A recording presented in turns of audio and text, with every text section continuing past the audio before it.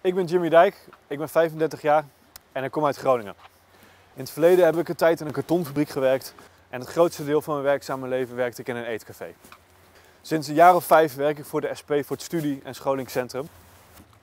En in Groningen voer ik met heel veel bewoners actie als het gaat om wonen, maar ook met thuiszorgers als het gaat om goede zorg en goede lonen voor mensen die met name cruciale beroepen werken. De afgelopen 40 jaar zijn werkende en werkzoekende mensen er niet op vooruit gegaan.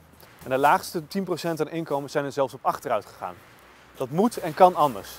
En daarom wil de SP samen met deze mensen opstaan en ervoor zorgen dat die verandering ook echt afgedwongen wordt. Dat wil ik samen met zoveel mogelijk Groningers en mensen uit de rest van het land in Den Haag voor elkaar krijgen.